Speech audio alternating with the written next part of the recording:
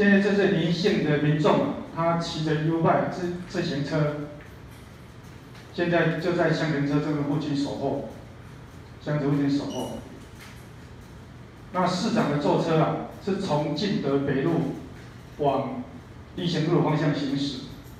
那现在他走出来，他骑出来，然后逆向行驶，到这边的人行道。那市长坐车在这边几乎是停滞，啊，然后撞向。